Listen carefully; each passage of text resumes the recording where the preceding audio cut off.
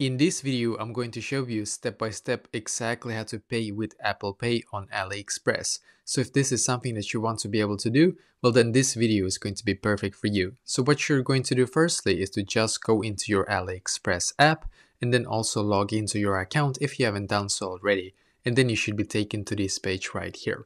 So now what you're going to do on this page is to locate where it says account in the bottom right corner and click on account and now you should be taken to this page right here, which is perfect.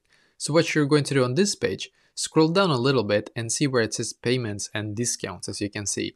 We're going to click on payment in here, just going to load and perfectly. As you can see, you should now be taken to this page right here. And what you're going to do on this page is to click where it says add card. So click on add card, you should now be taken here.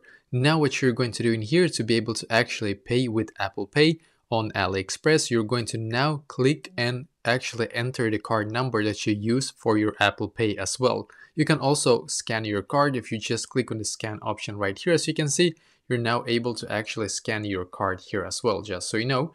And if, when you have done so, you have scanned everything correctly, then you will be able to add it in here as you can see, or you can also add it manually, of course. But when you have done so, just click on next in the bottom right corner, and then what will happen is that you will now add the exact same card that you used for Apple Pay to your AliExpress, which means that you will be able to pay with Apple Pay on your AliExpress. So that is exactly how to do this.